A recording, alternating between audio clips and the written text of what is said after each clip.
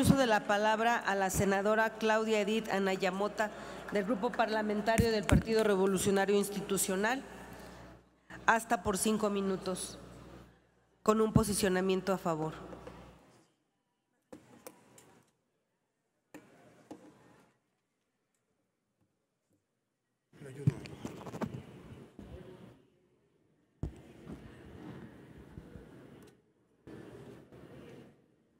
Gracias, Presidenta. Con su permiso, compañeras senadoras, compañeros senadores, ¿es este el instrumento legislativo más apropiado para esta circunstancia? Es un punto de acuerdo, la mejor de las soluciones en cuestión de justicia que este Senado de la República puede ofrecerles a las 39 personas que murieron esta semana en la estación migratoria? ¿Es esto lo más que el Senado de la República le puede ofrecer a la comunidad migrante? Sin duda no lo es. Y hasta eso nos andamos regateando, los resolutivos de un punto de acuerdo. Como si con eso estuviéramos dándole justicia a las personas que murieron, a sus familias y a miles más que pasan vejaciones cotidianamente en este país. En Zacatecas tenemos una alta vocación migratoria.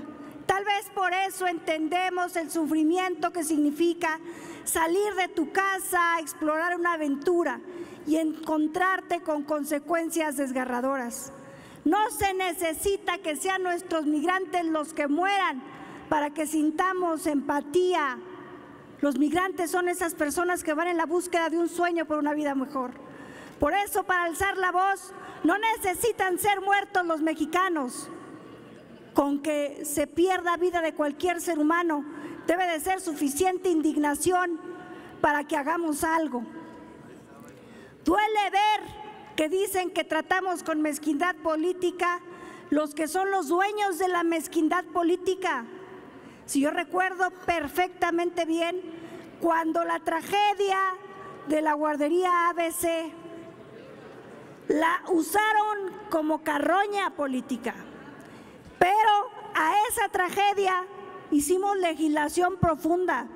Hoy tenemos una ley de guarderías que es una ley que verdaderamente atiende a la problemática de protección civil en la que se encontraban las guarderías.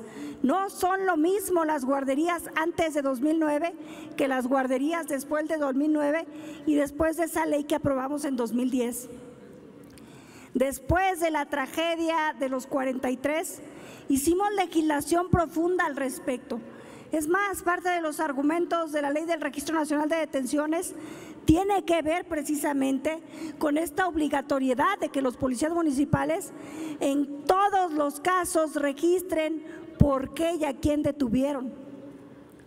¿Cuál es la legislación profunda que se ofreció, por ejemplo, en la tragedia de Tlahuelilpan? Más de 130 personas murieron con las autoridades observándolos. Y acá una cadena de errores y omisiones personas retenidas de manera ilegal por el gobierno, en donde además subrogaron la seguridad. Los agentes que los estaban salvaguardando o reteniendo ni siquiera son agentes del Estado mexicano, son agentes subrogados, elementos de una empresa privada que probablemente ni siquiera estaban capacitados en protocolos.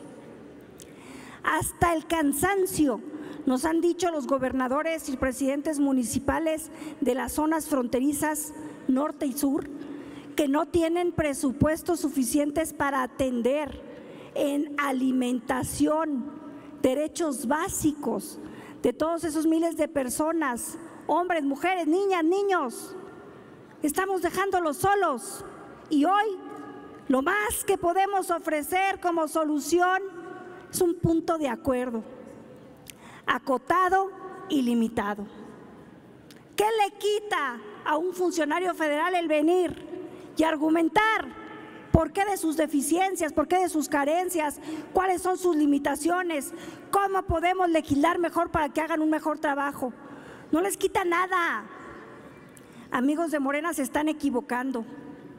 Se están equivocando porque salvaguardar a un funcionario público no es querer evitar que comparezca, porque nada le va a pasar a un funcionario por venir a exponer cuáles son los huecos y vacíos del Estado mexicano para atender esta severa crisis. Los convocamos a tener un debate de altura y sobre todo a buscar soluciones de altura. Hay que ser profundos, hay que ser inteligentes, hay que ser congruentes, pero sobre todo hay que ser seres humanos. Justicia para nuestros hermanos migrantes es lo menos que puede y debe ofrecer este Senado mexicano. Es cuanto, señora presidenta. Muchas gracias. Gracias, senadora.